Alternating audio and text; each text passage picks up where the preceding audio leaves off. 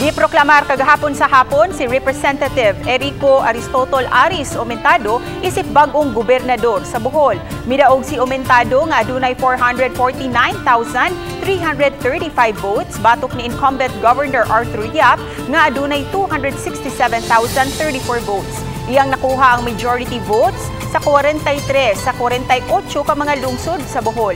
Mainiton siyang gitimbaya sa mga empleyado sa Kapitolyo. Sa iyang proclamation, giubanan si Omentado sa iyang asawa nga si Vanessa nga midaog usab isip representante sa ikaduhang distrito sa Bohol ug ni kanhi Cabinet Secretary Leoncio Jun Evasco.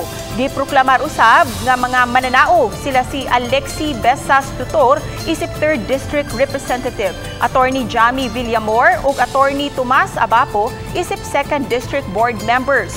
Greg Hala ug Tita Hala isip 3rd District Board members. uh, amo yung paningkamutan ang among isaad na amo yun ang buhaton labi na na uh, mo na yung rason na kamo misalig ka namo so daghang salamat ipakita ang tinud-anay limpyo na panggobyerno na dapat ma-address o mahatag sa katawhan